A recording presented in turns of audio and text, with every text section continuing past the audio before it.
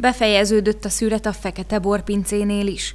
Közel 400 szőlőt szüreteltek idén a még hagyományos kézi módszerrel, amiből körülbelül 300 hektoliter bort készítenek majd.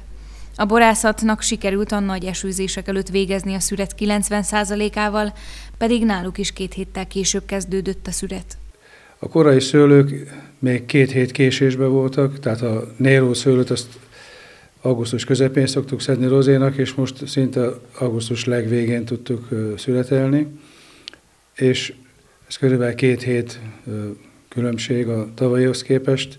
A többi szőlőt nagyjából ugyanabban az időben tudtuk szedni, de a későbbi fajták már behozták a lemaradást. A száraz augusztus és szeptember nagyon sokat gyorsított a szőlő érésén.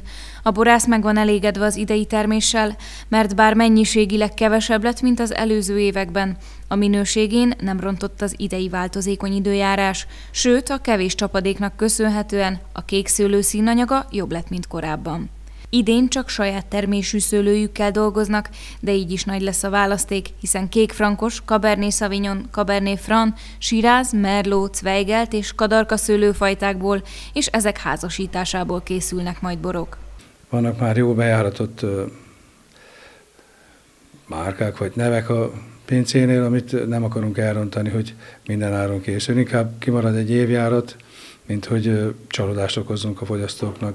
Fekete Mihály szerint ő a hobbi és komoly borászat határán van a mindössze 10 hektáros területével, de éppen ezért vallja azt, hogy idézem, áldozhatunk a borászat szépségének.